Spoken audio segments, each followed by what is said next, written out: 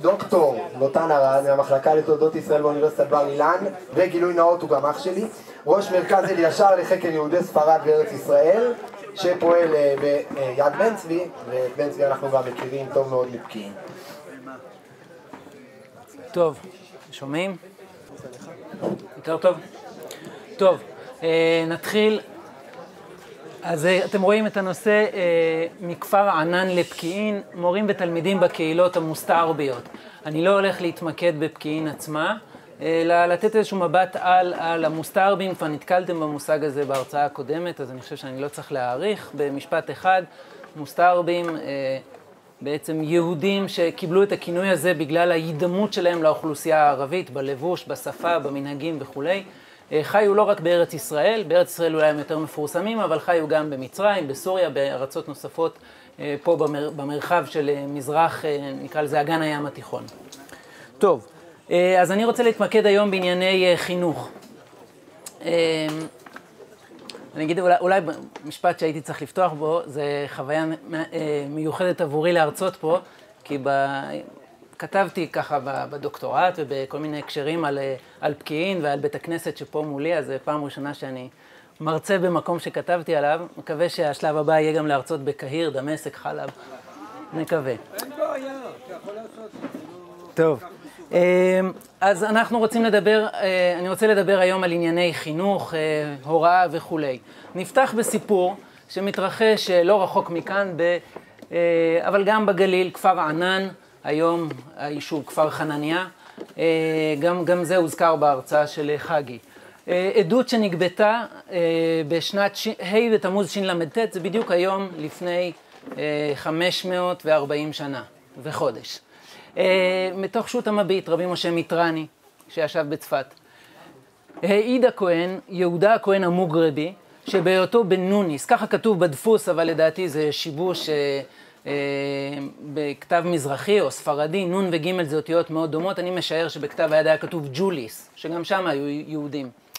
אה, נמצא עם רבי יהודה, אביו של המלמד של כפר ענן. אז אנחנו רואים שבכפר ענן, שכבר ראינו בהרצאה הקודמת, היו שם כמה אה, עשרות משפחות יהודיות מוסתערביות במאה ה-16, יש קהילה יהודית ויש להם מלמד, מלמד תינוקות. זה לא ישיבה ולא אוניברסיטה, אבל יש מלמד תינוקות. ואבא שלו יושב ואוכל ושותה בלי דאגה. ורש"י אמרו לו שני אנשים יהודים שהיו עמו, איך אתה אוכל ושותה, ואין לבך נוקפך על מיתת בנך? והשיב להם, בני לא מת כי אני הולך אחריו לבקשו. זה קצת מצמרר לקרוא את זה היום על רקע החדשות. הילד נעלם, ואבא אומר, אל תגידו לי שהוא מת, אני עוד אמצא אותו, אני הולך לחפש אותו. אמרו לו, איך לא מת? אנחנו שמענו מפי גוי אחד, שבהיותו חוזר מן הזיארה של חיפה, כן, הזיארה, זיארה זה בערבית ביקור, אבל פה הכוונה היא ביקור בקברי צדיקים. אה, זיארה בחיפה, אני מניח שהכוונה למערת אליהו, או אחד האתרים האחרים אה, שיש בחיפה. בין טבריה ל...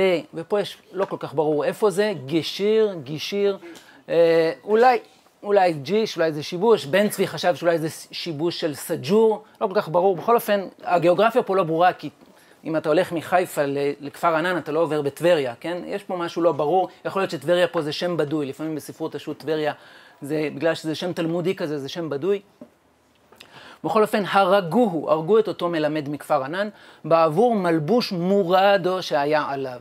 מה זה מלבוש מורדו? מורדו בספרדית פירושו אה, סגול או סגול כהה או שחור, אז יכול להיות שזה הצבע, למרות שקשה לי להאמין שמלמד תינוקות, שהוא מן הסתם לא היהודי הכי עשיר בעולם, הולך עם איזה כזה לבוש מנקר עיניים, יותר הגיוני שמורדו זה מלשון מורים, מורים זה אנחנו יודעים בספרדית ובעוד שפות זה בעצם ערבים או מוסלמים, זה אה, בעצם אפשר להגיד לבוש ערבי, לבוש מקומי. וכאן יש לנו רמז שהיהודי הזה, המלמד הזה מכפר ענן, הוא יהודי מוסתערבי. גם עצם העובדה שהוא הולך לזיארה, הביקור הזה בקברי צדיקים הוא מאוד מרכזי אצל המוסתערבים, גם פה בפקיעין יש לנו את מערת אה, רשב"י ואת קבר אה, הושעיה דמינטיריה וכולי. הגוי אמר את הסימנים כדי לזהות את הגופה. ש... אה, אז גבו את העדות שהוא היה מלמד בכפר ענן ושהיו עיניו קצת רעות, היה לבוש המלבוש הנזכר וכולי. אז, ועכשיו השאלה היא, שאלה הלכתית, האם להתיר את אשתו, את העגונה שבעלה נעלם או לא. עכשיו, אה, באותו, יש לנו עוד עדות שמופיעה בשו"ת המביט, ושם יש לנו פרטים אחרים, על יהודי אחר בשם דוד שמסתובב ופוגש איזה פלאח פה בגליל. היה מדבר עם פלאח אחד מכירו, ואמר לו שהיה רוצה לחזור להיות עטר. עטר זה מוכר בסמים. הוא רצה להסתובב פה בכפרים, מוכר בסמים לא יושב בחנות שלו, הוא עובר מבית לבית, ומוכר בעיקר לנשים את הסחורה שלו. נמצא לשם פלאח אחר ואמר לו, דוד, לא תבוא פה עטר, הזמן אינו טוב. זה לא, יש מתח בין יהודים לערבים, לא רק היום, כן? שלא יהיה שתי שנים, כלומר לא עברו שתי שנים שהרגו יהודים מצרי אחד, בעבור מלבוש אחד מורדו שהיה עליו, שלא היה שווה הרבה וכולי. אז אה, אנחנו רואים פה אה, עוד פרט אחד מעניין, מאוד מעניין לגבי המלמד הזה בכפר ענן. הוא היה יהודי מצרי, כן? סביר להניח שמצרי או מסרי, הכוונה, לא, אה, הכוונה היא שהוא בא מקהיר. וזאת תופעה מאוד מעניינת, שאנחנו רואים אותה בהרבה מקומות אצל המוסתערבים, שאין אצלם, אה, נקרא לזה, אה, הנהגה מקומית או אה, אליטה מקומית, והם צריכים לייבא מבחוץ, כן? הרבה פעמים, למשל, המוסתערבים בקהיר מינו לעצמם את רבי יעקב קסטרו, כן? מעריקש, אחד מגדולי הדור, להיות ה... הדיין אצלם, ויש עוד הרבה דוגמאות לזה, גם בדמשק, והנה גם פה בכפר ענן מביאים איזה מלמד שמגיע בכלל מקהיר, הוא יהודי מצרי. טוב, אה, אם אתם סקרנים לדעת מה, איך נגמר הסיפור הזה, אז המביט התיר את האלמנה. אתם רואים, אשת זה שמואל בן יהודה, שהיה מלמד בכפר ענן, ונפקד באותה שיירה שבאה מחיפה, ויש אנשים שראו אותו בטבריה. שוב, משהו פה מאוד מוזר עם הגיאוגרפיה, מה הוא עשה בטבריה, אם הוא הולך לכפר ענן מחיפה. לא, לא נפתור את זה כרגע. בכל אופן, המביט אה, התיר את העגונה שלו, אבל אותנו כהיסטוריונים מעניין המידע הנדיר, וזה נדיר, יש לנו הרבה מידע על יהודי צפת, הרבה מידע על יהודי ירושלים, כלומר על המרכזים העירוניים, אבל על הקהילות הכפריות יש לנו מעט מאוד מידע. אה, אין לנו תעודות ארכיון, לא מצאנו את הגניזה של פקיעין, אז תעוד, אה, עדויות כאלה הן בהחלט מאוד חשובות עבורנו.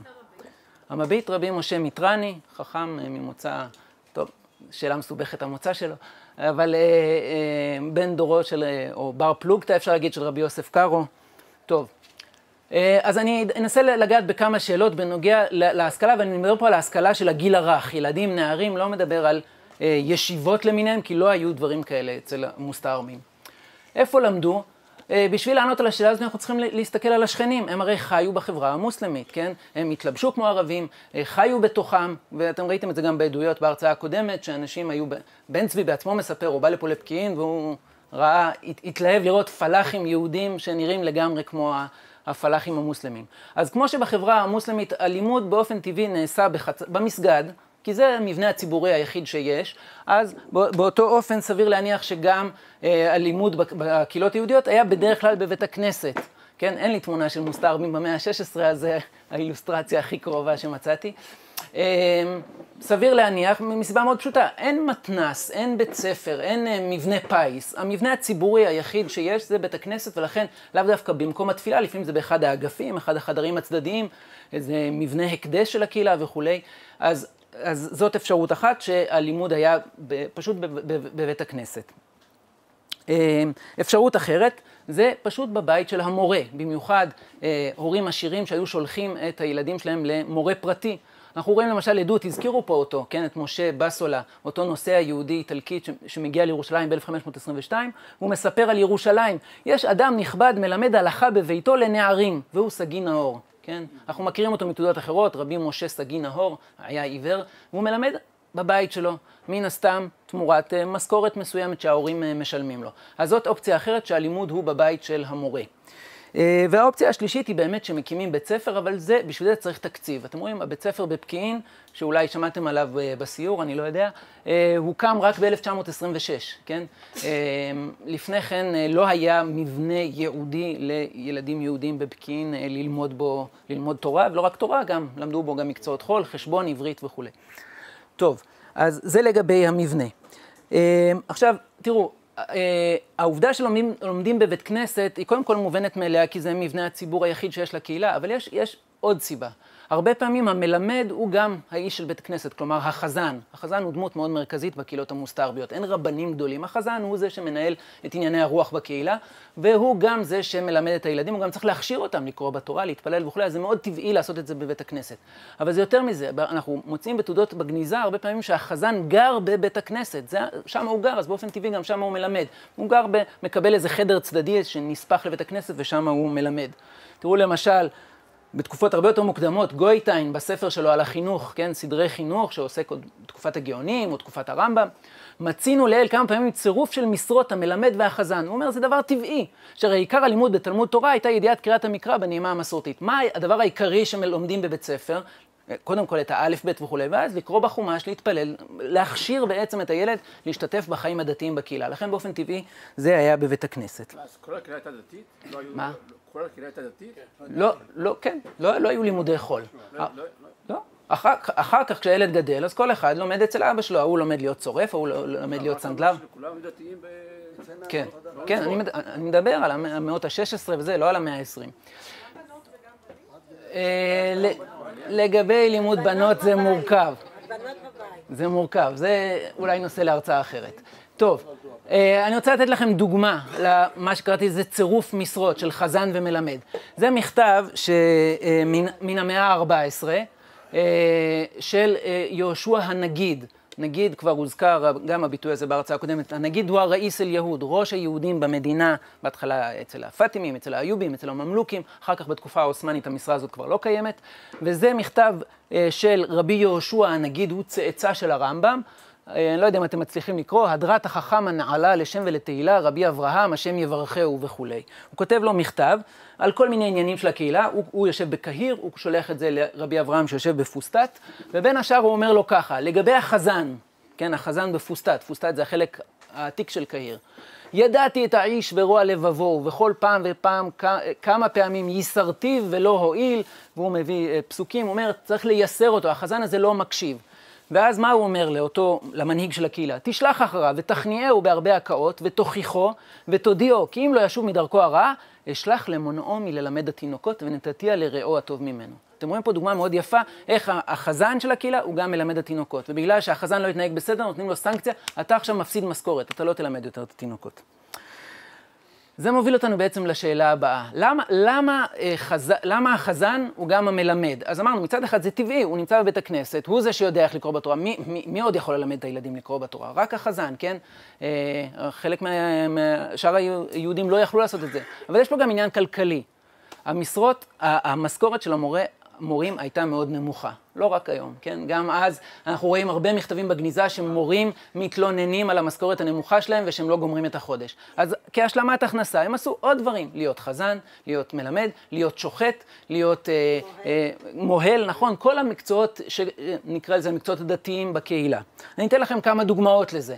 הנה עוד מכתב, זה מכתב מה, מהגניזה של בית הכנסת הקראי בקהיר, נמצאת היום בסנט פטרבורג. אה, מכתב בערבית, אבל אה, פרסמתי אותו לפני אה, כמה שנים, מ- מתארת איזשהו סכסוך שקורה בקהילה הקראית של קהיר ב-1575, לא ניכנס לכל הפרטים, אני רוצה רק לקרוא איתכם כמה שורות. זה בעברית, לא בערבית. לא, זה בערבית. זה ערבית באותיות עבריות. ערבית יהודית, מה שנקרא. אתם רואים, לי מקנה ביטריח נער אל-אתנן וכולי, כן? מה? יש גם מילים עבריות, אבל הטקסט הוא בערבית. איפה? כן. זה, שמה זה בעברית. יש שם שורה אחת בערבית בכותרת. נכון, בכותרת כתוב ביסם אל-רחים, כן, בכותרת. כן. אבל לא, האותיות עצמה, זה, האותיות עצמן הן בעברית. טוב, בואו נתקדם. אז אה, אתם רואים פה מי שרוצה לראות את הערבית בצד ימין, אבל מסופר ככה, בתאריך יום שני, כ"ח לחודש אב וכולי, אה, שנת של"ה, כלומר 1575, התרחשו דין ודברים ומריבה וקטטה וכולי, היה סכסוך בקהילה בקהיר. למה? היה חזן שקראו לו יעקב החזן והוא נפטר, וכל אחד רוצה לרשת את המשרה שלו, כן? אבל, ואז אה, מנהיגי הקהילה התאספו והחליטו למנות את המחליף שלו, זה סיפור מאוד מעניין, כי המחליף שלו הסכים לוותר שלוש שנים על המשכורת ולתרום את המשכורת לאלמנה של החזן הקודם. זה אה, מחווה יפה. אבל אה, מה שמעניין אותי זה השורה השלישית, אתם רואים, הוא היה חזן ראשי ומלמד ומשרת. משרת זה מה שאנחנו קוראים היום בעברית שלנו שמש. זה שאחראי על התחזוקה של בית הכנסת. מה? אה, הוא גבאי, כן. אה, אפשר להגיד גבאי, כן? בכנסת בית שמחה. מה? זאת קהילה קראית שמהרבה מבחינות היא דומה מאוד לקהילה המוסתערבית. אה, אז אתם רואים שהוא חזן, מלמד ומשרת. צירוף משרות. אגב, זה היה קיים גם בחברה המוסלמית. עובדים, השמש במסגד היה גם עובד של הוואקף וגם מלמד, וזה בשביל לגמור את החודש. אני אתן לכם עוד דוגמה מקהילה מוסתערבית אחרת במצרים, שוב, קהילה שאנחנו לא יודעים עליה הרבה, אנחנו יודעים הרבה על קהיר ועל ירושלים ועל צפת, על הקהילות הקטנות יודעים מעט מאוד. זאת קהילה בשם מחלת אל-קוברה, כן, עיר עד היום במצרים, הייתה שם עד המאה ה-20, יש לנו עדויות מהמאה העשירית ועד המאה ה-20 לקהילה מוסתערבית שהייתה במחלה, שמחה אסף כתב על זה מאמר שפרסם כל מיני תעודות, ובארכיון הקהילה של קהיר השתמרו כל מיני תעודות שקשורות לקהילה הזאת במחלה. וכאן יש קטע מתוך אה, חוזה של אדם בשם שלמה כהן, שבא לקהילה הזאת, והוא אה, התמנה להיות השוחט שלהם, כמו שהגברת פה אמרה, שלפעמים החזן הוא גם השוחט, זה הולך ביחד. כן, איזה קרוב משפחה שלי היה ב, אה, רב בביירות, הוא אומר לי, אני הייתי השוחט, המוהל, החזן, הכל. כן, זה מאוד מקובל. מה? של הסוכנות עושים את זה. כן. אז אתם רואים פה שהוא ישחוט, מה הוא מתחייב? שהוא ישחוט להם בשר וילמד לתינוקות. מה הוא מלמד? אתם רואים כבר את התוכן, תורה, נביאים וכתובים, לא דברים אחרים. וקיבל להתפלל, הוא גם חזן, להתפלל בשבתות, בימים טובים, בימים נוראים וכולי, כן? אז אתם רואים פה את צירוף המשרות הזה. אה, שאלה נוספת שאנחנו צריכים לדבר עליה, שבעצם כבר התחלנו לענות עליה, מה היה האופי של החינוך? האם זה חינוך ציבורי, כלומר האם הקהילה מחזיקה את זה והיא משלמת את המשכורת של המורה, או שזה חינוך פרטי וכל אחד משלם אה, למורה פרטי, ויש כמובן גם וגם. בדרך כלל ילדים עניים הלכו לבית, אה, לתלמוד תורה, או בערבית לכותב או המכתב, כן, ככה זה נקרא, של הקהילה, והורים עשירים יותר שיכלו להחזיק את זה, אה, שילמו למורה באופן אה, פרטי. אה, אבל היו גם מקרים שבהם יהודים עמידים אה, מימנו בעצם את המשכורות של המורים בבית הספר הקהילתי. אני רוצה לתת לכם דוגמה מהקהילה בקהיר, זה שוב פעם מתוך ארכיון הקהילה היהודית בקהיר, ארכיון שאנחנו לא בדיוק יודעים היום איפה הוא, אמ, ופה תיאור של תעודה בארכיון הזה, שמספרת על כך שהמועלים, מועלים אגב מילולית זה מורה, אבל כאן כנראה לא הכוונה למורה, מרדכי אבן חלפלה בן זכריה, היהודי הרבני, המכונה דעדה, הוא יהודי מוסתערבי מקהיר, והוא הקדיש את כל המקום וכולי הנמצא בקהיר, בשכונת זווילה, או זווילה, כן, שכונה, אה, שכונה יהודית בקהיר, ברחוב אל-ראד אה, וכולי, על מנת שיוצאו ההכנסות ממנו על ילדי היהודים המתגוררים והבאים אשר קוראים ולומדים במכתב השוכן ברחוב אסקליבה בשכונת זווילה. כלומר, הוא, הוא בעצם יוצר כאן מנגנון של מימון לבית הכנסת, סליחה, לבית הספר היהודי של המוסתערבים בקהיר. הוא אומר, אני עכשיו, יש לי איזה נכס, יש לי איזה דירה, ואני מקדיש את זה. מה זה אומר? שעכשיו שכר הדירה של הדיירים בדירה הזאת לא נכנס לכיס שלי, אלא הולך למימון בית הכנסת. כן? וזו הייתה תופעה מאוד נפוצה. מה? זה מזכיר את הממלוכים עם המדרסה. אה, נכון, כן. אה, אה, נכון, בהחלט.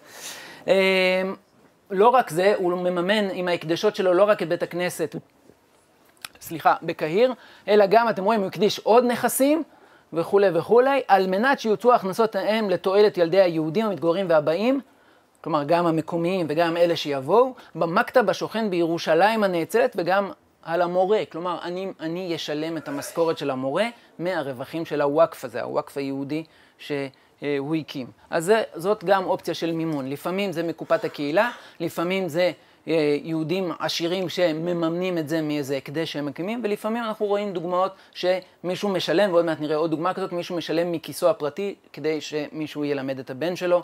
אה, נראה עוד מעט דוגמה לזה. טוב, אנחנו, השאלה אולי הכי מעניינת, מה לומדים? אז כבר ראינו רמזים לזה, תורה, נביאים וכתובים, אבל נראה כמה דוגמאות יותר מפורטות. מה לומדים? מה הילדים בקהילות המוסתערביות בארץ ישראל, במצרים, בסוריה, מה הם, מה הם למדו? שוב, נחזור, נחזור אל השו"ת, כן, אל השאלות והתשובות כמקור היסטורי, והפעם השו"ת של רבי אה, יום טוב צהלון, מכונה מהריטץ, גם מחכמי צפת, אה, ובשו"ת שלו מסופר ככה: ראובן שמת אביו, התייתם, והיה לו אח קטן, וראובן זן ופרנס וכלכל את אחיו, וגידל אותו בגעגועים, ונתן שכר למלמדים. הוא, מל... הוא דואג לממן את הלימודים של האח שלו, אשר לימדו אותו תורה. עכשיו, תשאלו אותי, בסדר, איך אתה יודע שהוא מוסתר בי? הרי היום טוב צהלון אנחנו יודעים הוא ספרדי, אולי זה בכלל אה, תשובה שמדברת על יהודי ספרדי, או יהודי אשכנזי, או יהודי איטלקי, ותראו מה הוא לומד. עם תורה ותרגום ושרח.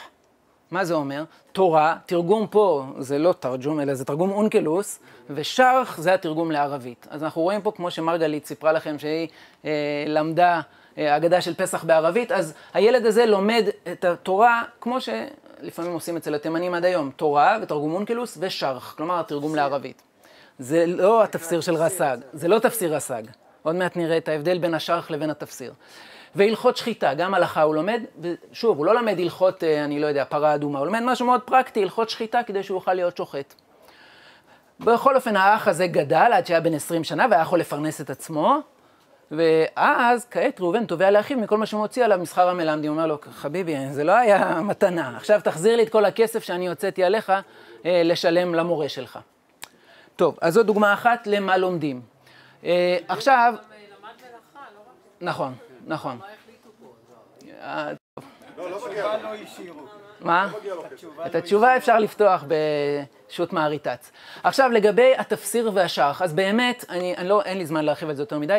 היהודים התחילו לתרגם את התורה לערבית בתקופה מאוד קדומה, לא מיד עם עליית האסלאם, אבל יש לנו כתבי יד כבר מהמאות השמינית והתשיעית, אבל התרגום הכי ידוע זה התרגום של רב סעדיה גאון, שנעשה במאה העשירית, מכונה התפסיר. וזה באמת, במשך מאות שנים היה התרגום הכי ידוע והכי מפורסם, וגם מחוץ לעולם היהודי, גם נוצרים ושומרונים הכירו את התרגום הזה והושפעו ממנו. אבל, מה? תפסיר פירושו פירוש בערבית. אה, רב סעדיה גם כתב פירוש למקרא. בכל אופן, בכל אופן, אה, הערבית שלו היא ערב- ערבית ספרותית מאוד גבוהה, מאוד יפה, אבל הערבית המדוברת הלכה והתרחקה מהערבית הספרותית, ויהודים פשוט כבר לא הבינו את התפסיר הזה.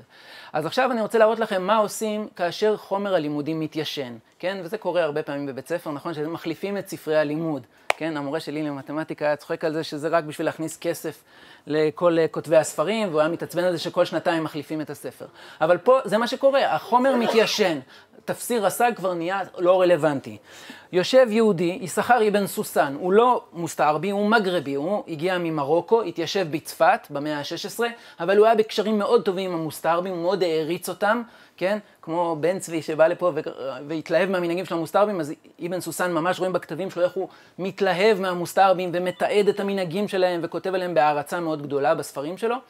והוא, אבל המקצוע שלו היה, הוא היה מלמד תינוקות. כן, הוא היה גם דיין של, המוסתר, של המגרבים בצפת, אבל גם היה מלמד תינוקות. והוא מספר כך, כבדה קריאתו, כן, של התפסיר של רס"ג, על הקטנים בני לשון הערב, ושיקראו בו על עוברן הפסוקים, וגם אפילו על המלמדים היה לטורח. וזה היה הסיבה שהוא נח לגמרי מכל בני לשון הערב. כבר לא לומדים את זה, זה כבר לא, כבר לא מבינים אותו, כן? עד שאפילו רוב הבעלי תורה שביניהם אינם יודעים פרשה אחת על המקרא בלשון הערבי הראוי. וכאן הוא מספר סיפור מעניין, וזה במיוחד בשביל יוסי. אה, בשביל יוסי. בחיי נשבעתי איך מפי חכם גדול וזקן מבני הלשון, שמעתי שנתגלגלו הדברים ואמר לי, דיבור זה, אין לנו הנאה מהשרח של רבנו סעדיה, שאין לנו מבינים מה הוא אומר. אני אומר, אני בכלל לא מבין מה כתוב שם. והוא ראש ודיין לכל בני עירו. אם כן, מה יהיו אחרים? אז אבן סוסן אומר, "אה, אפילו החכמים פה לא מבינים את הערבית של רס"ג. אז מה צריך לעשות? צריך לכתוב ספרי לימוד חדשים, ומה שאבן סוסן עושה, הוא כותב שרח, כלומר, תרגום של התורה לערבית מדוברת, ערבית קלה יותר, לא ערבית ספרותית גבוהה כמו של רס"ג, ויש כמה שורוח כאלה, מכל, יש אה, של רבי רפאל ברדוגו מהמגרב, שהוציא משה בן אשר, ו- אה, אה, אה, משה, סליחה, בר אשר, אה, ועוד אה, כמה וכמה שורוך כאלה. היחידים שנשארו נאמנים לתפסיר עד המאה ה-20 זה התימנים. אבל בשאר העדות החליפו את התפסיר בתרגומים כלילים יותר בערבית מדוברת.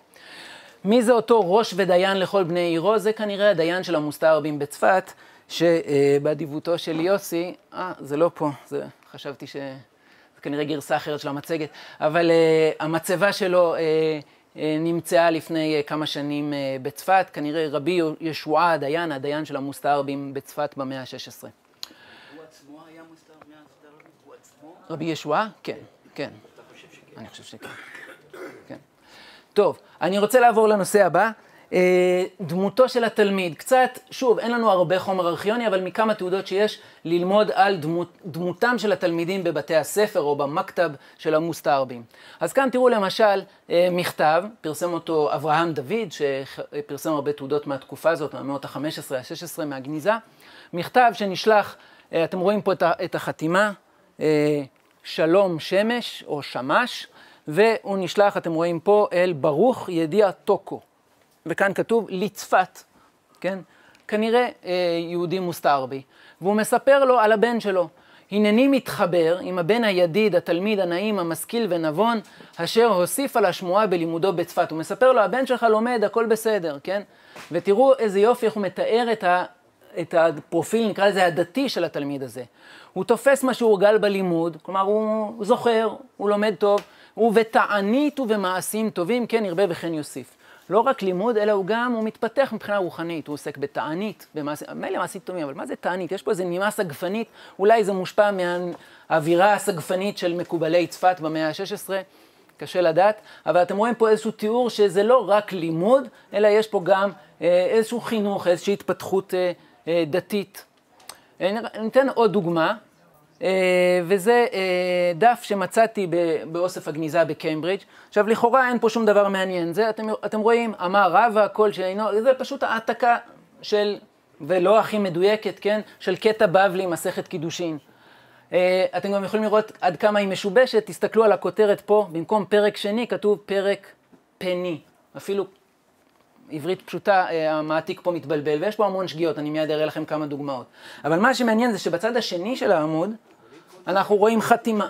מה? אם כל זה זה עברית יפהפייה, זה לא... זה לא עברית, זה ארמית, כי זה קטע גמרא. אבל, כן, אה, הכתב הזה הוא באמת יחסית ברור. אתם רואים פה את החתימה שלו, של המעתיק. ואתם רואים שהשם שלו הוא עווד, שם ערבי. כן, רידה. זה בעצם השם רצון בעברית. אה, אז הוא כנראה המעתיק, אני מניח שזה איזשהו תרגיל כתיבה, כן, של נער מוסתערבי ש... לומד גמרא ומתרגל את עצמו בהעתקה.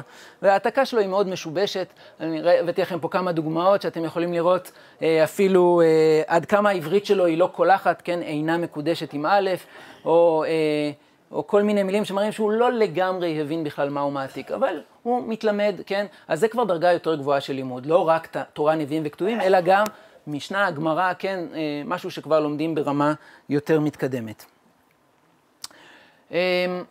עוד אה, דוגמה שמתארת לנו את עולמו של תלמיד, אה, מוסתערבי או מוגרבי, בכל אופן דובר ערבית, אה, שמצאתי בגניזה, ופה זה מכתב, אתם רואים האותיות הן בעברית, אבל הטקסט הוא בערבית יהודית. מכתב מהגניזה, סלאם עלה תעלה, כן, שלום האל יתעלה וכולי, ורחמתו וברקתו וכולי, וכאן אתם רואים, המחבר של המכתב הוא אדם בשם עמרם, אתם רואים פה עמרם, כן, אוהבך עמרם. וככה הוא כותב, זה בעצם מכתב שהוא כותב לאבא שלו. סלאם עלה תעלה וחמתו וברקתו וכולי וכולי. סידי וסינדי ותאג' רסי, כן, כתר ראשי, מן מוחיבוקה אבנקה עמרם, כן, אוהבך בנך עמרם. מוסלים עלייקום כתיר הסלאם, דורש בשלומכם הרבה, הרבה שלום. צרור שלמה. כן. הוא עשה יעבויה, ועכשיו, יעבויה, אתם ממש יכולים להבין את זה, כן? אז הוא אומר, אה, אני אתרגם סימולטני, כן? אם אתה שואל עליי, על לגביי, אין שום דבר רע, הכל בסדר. אה, אני רק מצפה לראות את פניכם, כן? ואומר, הוא עשה יאבויה, כן עכשיו אה, אה, אבי, אנא קאד נקרא. כלומר, אני יושב, קורא. הוא אומר לו, אל תדאג, אני יודע, אתה חושב, אני עם הסמארטפון כל היום. לא, אני לומד, הכל בסדר, אל תדאג, כן? ותראו איך הוא מנסה להרגיע את אבא שלו, באמת, כן? הוא אומר, אה, עכשיו זה יכול, אה, אפשר לקרוא את זה בערבית, נבטולו, אפשר אולי אה, בעברית, נבטל, לא, לא, לא ליל או לה ליל ולה נהר, כן? לא, לא יום, לא לילה ולא יום, כן? אני כל הזמן לומד, אל תדאג, הכל בסדר. אתה לא צריך לרגל אחריי. כן? אז סתם דוגמה למכתב שמראה איך, איך הוא לומד ואיך הוא רחוק מהבית, אז הוא מרגיע את אבא שלו. זה? או המאה ה-15 או המאה ה-16. אני לא יכול לקבוע יותר מדויק. אה, קצת, שוב, על עולמם של התלמידים, אפשר ללמוד מאוד סוגים של מקורות, עוד ז'אנרים, וזה גם אה, ז'אנר אחר מהשירה, השירה העברית. ופה יש לנו מחבר מוסתערבי בשם יוסף הלוי נואס, הוא ישב בדמשק. אומנם אה, המהדירה של השירים שלו התלבטה אם הוא היה מוסתערבי או סיציליאני או ספרדי, אה, כי השירים שלו הם בעברית, הם לא בערבית, אבל הכותרות של השירים הם תמיד בערבית, כי הוא כותב בכותרת את הלחן. את זה צריך לשיר בלחן הזה, את זה בלחן הזה, כמו שנג'ארה עושה גם. מה? אה, כן, ואת זה הוא עושה בערבית, ו... אבל יש עוד הוכחות שאפשר להוכיח בקלות שהוא היה מוסתערבי, ואתם יכולים לראות פה את האקרוסטיכון, אני יוסף, איך שהוא התבלבל וכתב פעמיים ו', ואת השיר הזה הוא מקדיש לעשירים בקהילה, כי הם כמובן משלמים לו, כן? זה לא בחינם. הוא כותב שירים לבר מצוות, לחתונות וכולי, מזה הוא מתפרנס. עובדיה אלוה חי יברך בברכת אב אשר נושא עשרה, כלומר אברהם עם עשרה ניסיונות, אשר אחר זיכונו שמחו אל בבן הוליד מאשתו הדורה. אז מישהו בקהילה בדמשק נולד לו בן לעת זקנה, ואז הוא כותב לו שיר. ותשימו לב שהוא הוא כותב לו, יקיים לו זכות יעקב ובניו, שבטי יה, שניים ועשרה. כן, זה לא, לא ריהל ולא אבן גבירול, כן, הרמה פה היא לא מי יודע מה, אבל שימו לב איך הוא מברך את האב על הילד. והנולד יחיה לבבו, כן? אנחנו יודעים שהייתה תמותה מאוד גבוהה של תינוקות, אז הוא אומר לו שהילד יחיה ולא ימות, וגם יגדל, ואז יהגה בתורה. ומה הילד הזה ילמד? ספרים יאלף, מקרא ומשנה ואגדות ותלמוד עם גמרא, פתוח, פ, פתוח פה יהי, יהי בדבר הלכות, וכל ממרה תהיה על פיו סדורה. אז הוא ילמד גם תורה וגם שינון. תורה שבעל פה. וכאן אתם רואים בסוף, שוב פעם אגב האקרוסטיכון, אתם רואים בן אברהם, איך אני יודע שזה אקרוסטיכון? כי על כל מילה כזאת הוא שם איזה גרש למעלה בכתב היד, ושוב פעם אה, אה, הוא מהלל את הגביר עדה מיוחסה ברורה, ככה הוא, תראו איזה, אגב, מילה מעניינת, עדה מיוחסה ברורה, לא, אבל תשימו לב, מי זאת העדה המיוחסה? אלו הם המוסתערבים של דמשק, אתם רואים פה את תודעת הייחוס, כמו למוסתערבים בפקיעין, גם המוסתערבים בדמשק יש להם תודעה, אנחנו פה מדורי דורות, אנחנו שומרים על המקומות הקדושים, אז הוא, הם, הוא, הם קוראים לעצמם עדה מיוחסה ברורה. כן, אז זה בעצם שיר שנכתב, אתם רואים, לבית נימול, לברית המילה של הנער הזה. אבל יש עוד שיר יפה, אה, ובזה אנחנו, אני כבר מתקרב לסיום. תסתכלו בשיר, שוב פעם אתם רואים את ראשי התיבות יוסף, אבל תשימו לב, ילדיך ובניך סביבי, פתח להם ספרים לקרא, לקרות בם. כן? אז יש פה ברקע את הפסוק, כן? בניך כשתילי זיתים סביב לשולחניך. אבל אני חושב שיש פה יותר מזה, כן? להשתדל לעשות להם ספרים להורותם. מדובר פה על תהליך הלימוד. ולמה הוא אומר שהם יושבים מסביב? כי זאת בעצם הייתה צורת הלימוד, כן? זאת בעצם צורת הלימוד. המלמד יושב והתלמידים הם מסביבו, לא יושבים בשורות ישרות, כן? הוא צריך להשגיח על כולם, אז הם יושבים מסביב, כן? זה צילום שצולם בתימן, אבל שוב, כמו שאמרנו, כן, מבחינה זאת התימנים והמוסתערבים הם, זה אה, שיתוף השם. הם, הם, מה? נכון, נכון מאוד. אה, ואתם... נכון, כן. ואתם יכולים לראות את, בדיוק את אותה צורה גם בחברה המוסלמית. זה צולם... אה, איפשהו אה, במרכז אסיה, אני חושב, אבל אתם רואים, ממש אתם רואים את, אותה, את אותו פוזה של המלמד עם הילדים, פה הם לומדים קוראן, ואצל התימנים עד היום אתם יכולים לראות, זה אגב התפסיר, כן? ספר אחד בשביל. נכון, ואתם יכולים לראות כאן, זה תפסיר רס"ג עם פסוק מהתורה, פסוק אונקלוס ופסוק בערבית, ובאמת יושבים מסביב. יש לנו עדויות על המנהג הזה שיושבים מסביב לספר מכל הכיוונים, גם מימי הגאונים, זה מנהג עתיק מאוד. אני רוצה לסיים, אה, דיברנו, אה, הוזכר פה אה, היום, כן? משפחת נקיבלי, כן? משפחה יהודית אחרת שהייתה בפקיעין.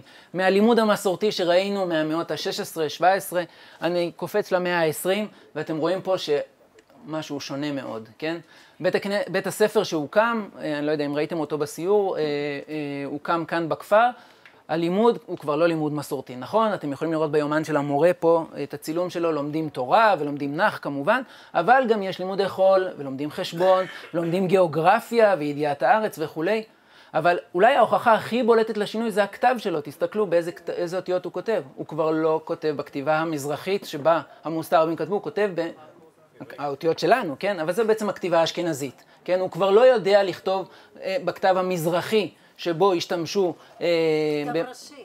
מה שמכונה כתב ראשי, כן? לא היה פשרה במלחמת השפות, כן. שההעברה יהיה ספרדי והכתב אה, כן, טוב, מה הפוליטיקה שמאחורי הפשרה הזאת, זה גם נושא מעניין, אבל בכל אופן, אתם יכולים לראות פה למשל, הוא כותב, לא היית, כשהוא מתאר את החיים בכפר, כן, זה גבריאל נקיבלי, כנע, כותב את זה כנער בן 13-14, במסגרת אה, עבודה שהוא מקבל בבית ספר, כן, מהמורה העברי שלו, האשכנזי, לא הייתה שום חתונה ושום פנטזיה, כן?